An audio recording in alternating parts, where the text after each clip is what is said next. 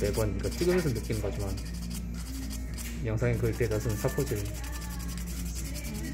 진짜 찍어놓은 영상을 이렇게 찾아보면 대다수 거의 사포질밖에 없더라고요. 그러니까 갈고 갈고 갈고 계속 갈고. 선생님 저 사포질 할 때만 찍으시잖아요. 아니 색칠할 때도 찍었어요.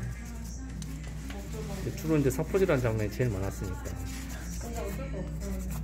그러니까 이게 이렇게 해주질 않은 모양이 안 나오니까 이게.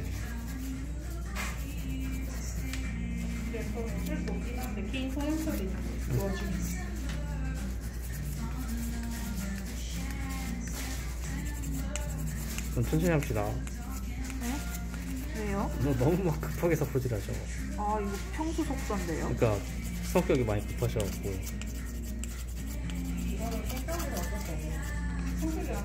천천히 해볼게요.